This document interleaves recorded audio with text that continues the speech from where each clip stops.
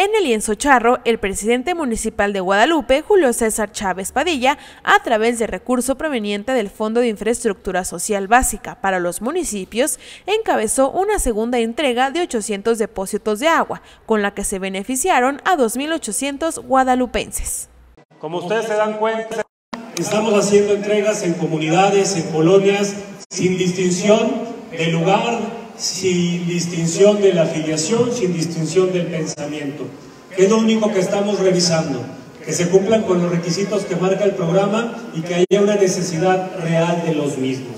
Estos tinacos no puede caber la tentación de usarlos para una cosa que no son el objetivo de que almacenen agua en sus hogares.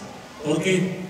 Porque como ustedes saben en todo el mundo, y lo vimos aquí con los vecinos de Nuevo León, el tema de la escasez de agua cada vez es más complicado, muy complicado. Y por eso estos tinacos llegan a ser un paliativo ante los tandeos que son necesarios y no hay otra opción de los sistemas, ya sea con, nosotros tenemos dos, los de Chiapas, que es una parte de Guadalupe, y el otro sistema que cada comunidad se organiza y es autónomo. Tenemos esos distintos sistemas. Y en ellos el almacenamiento de agua es muy importante.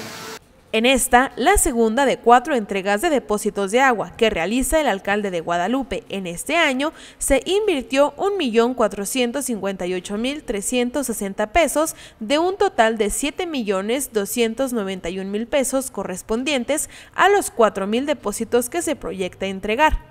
Asimismo, explicó que este modelo de depósito de agua no es comercial, por lo que manifestó que si la ciudadanía se da cuenta de que los están ofreciendo para su venta, pide realizar la denuncia correspondiente. Estos no son comerciales, ¿eh? este tipo, de este color y de esta capacidad no hay en ningún lado. Si alguien lo ven que ofrece algo similar, denúncienlo, porque estos son recursos de todos. La corrupción, sí, a veces arriba, y lo vivimos con, bueno, me encargó el gobernador que lo recordara, lo vimos con Enrique Flores.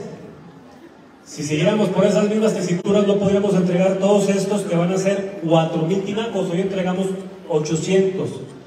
En este monto de inversión de estos 800 son un millón y medio de pesos invertidos para ustedes, que no les cuesta un solo centavo, que es gasto del gobierno federal y del gobierno municipal y del gobierno estatal.